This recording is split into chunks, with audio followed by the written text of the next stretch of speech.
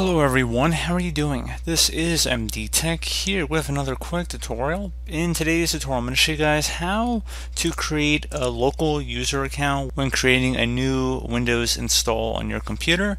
So if you're booting from the media creation utility with more recent builds of Windows 10, you notice that there's no option to go create a local account. Instead they prompt you to sign in with Microsoft. So this can definitely be an issue and in today's tutorial I'm going to just briefly show you guys how you can go about resolving that. So all you have to do if you get to this point is you want to go disconnect your internet. So when it's asking to enter in login credentials for your network, do not set that up. Just select do that later. If you're using an Ethernet connection, you want to disconnect that. And if you're using an external Wi-Fi adapter, you want to just disconnect that from your computer.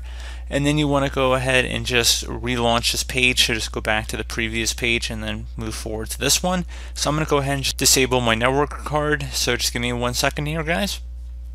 Okay, so I've just turned that off. And now if I go back to the previous selection here, so I just click little back arrow. I'd honestly recommend just not even having it hooked up to begin with, but I just want to show you guys the gist of what it's going to look like if you do take out your network adapter or turn it off like most people should.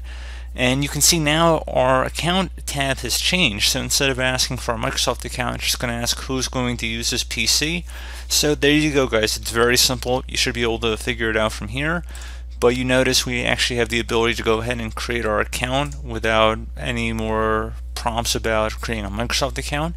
So pretty straightforward tutorial guys do hope I was able to help you out, and I do look forward to catching you all in the next tutorial. Goodbye.